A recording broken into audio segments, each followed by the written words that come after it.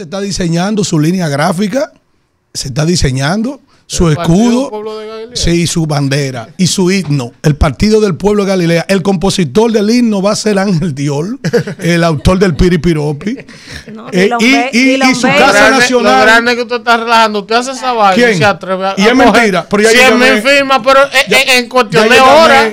Voy a recordar. Yo llamé a Ricardo Di al rey de Galilea. ¿Qué le pasó, Elvi? Al rey, pero él dice que le. no, a él le toca aunque sea colita. bueno, la Casa Nacional del Partido del Pueblo de Galilea se perfila que está que estará ubicada en la 42, en la, zona de Capotillo, claro.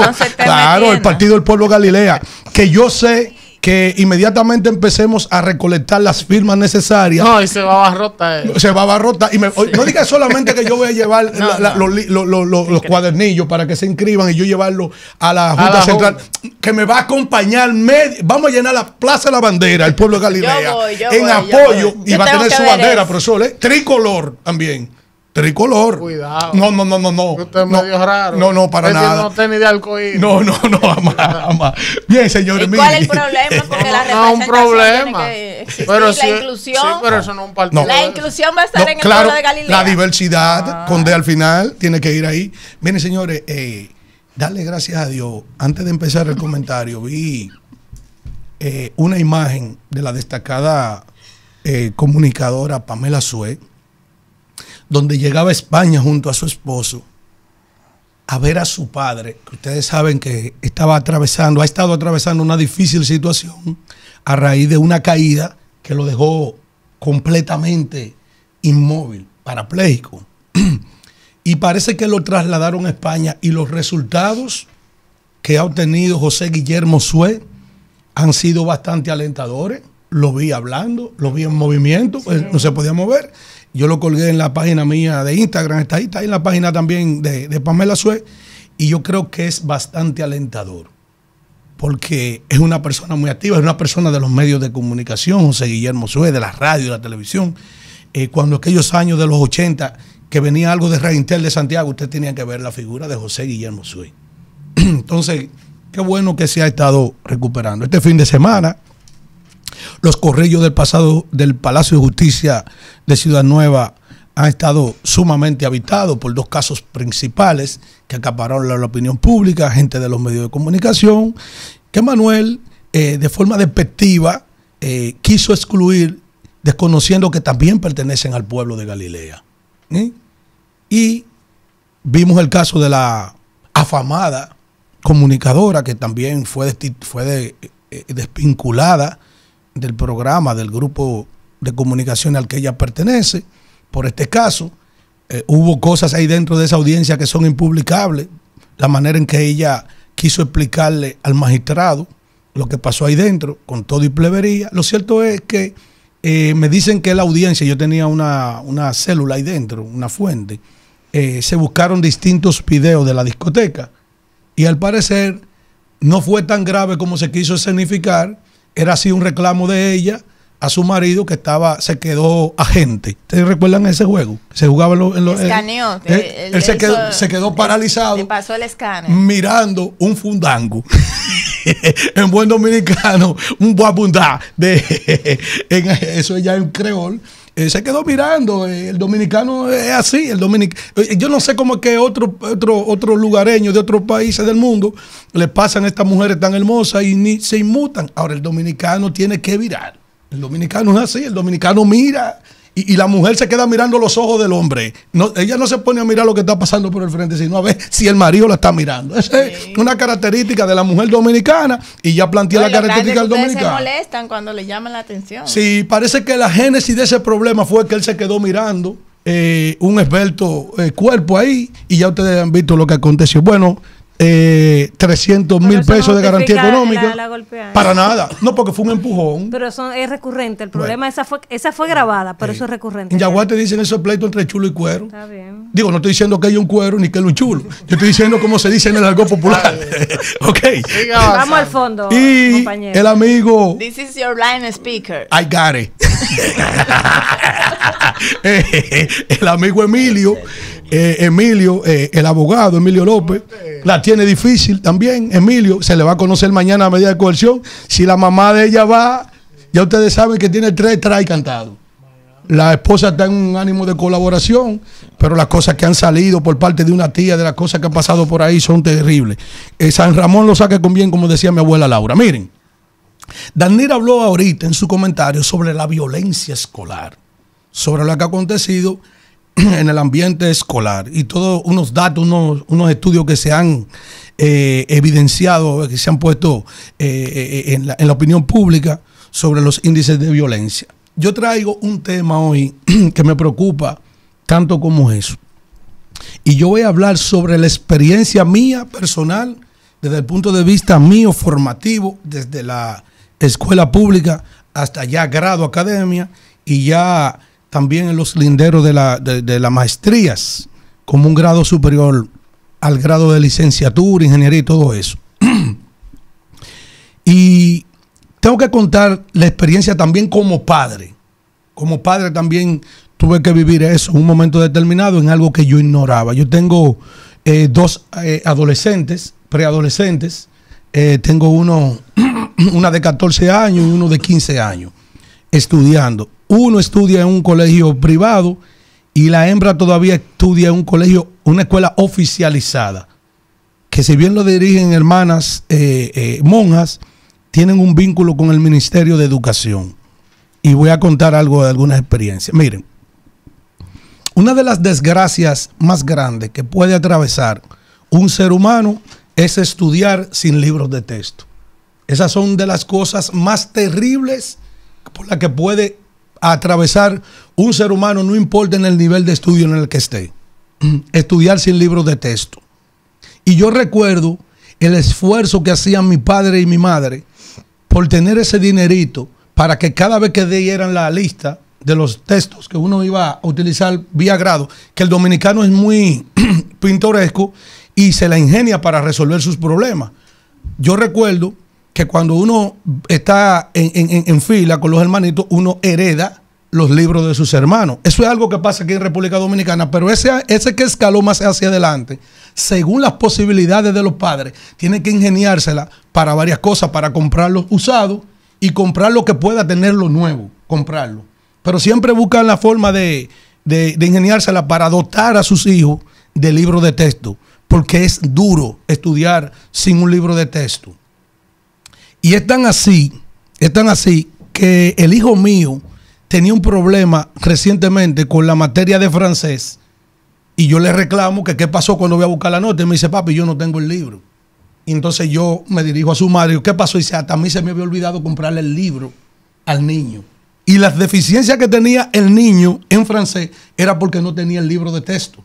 Pero una misma deficiencia puede tener un niño también en ciencias naturales, en sociales, en matemáticas. ¿Mm? Usted sabe lo que está estudiar, simplemente coger la clase que da el profesor de matemáticas y se va para su casa. Pero usted no tiene el tiempo de lo que usted no se nutrió en el aula, poderlo ver y darle seguimiento a través de un libro. Entonces, esa es la necesidad, la idoneidad de tener un libro. Sucede también con la materia de inglés, de inglés, sucede también con la física, sucede con la química.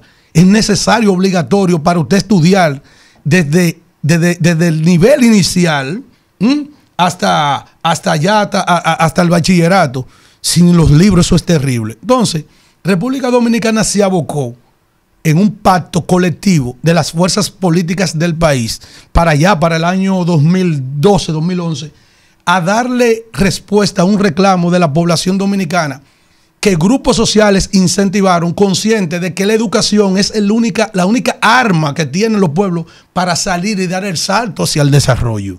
La educación es vital para un país avanzar. Y se pusieron de acuerdo sobre un 4%. El pasado gobierno hizo mucho énfasis después que veíamos en todos los medios de comunicación la cantidad de niños que cogían clases en rancheta o hasta debajo de una mata y construyó una gran cantidad de aulas.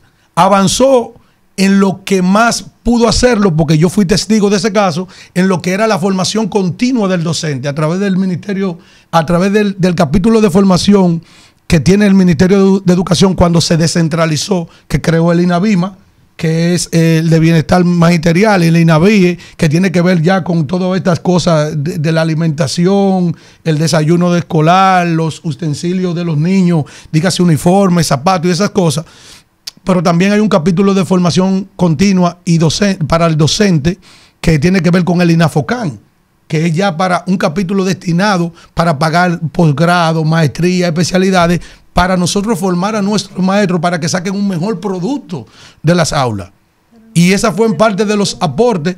El pasado gobierno estableció lo que era el desayuno escolar, la, la, la, la jornada extendida. Entonces, este gobierno, yo pienso que también ahora le hace, le, le, le, tiene la responsabilidad también de aportar un granito de arena a lo que ha acontecido desde que se ha suplido un 4% para la educación. Lo cierto es que dentro de las políticas también públicas del Ministerio de Educación y el uso del 4% está lo que son el asunto de los libros.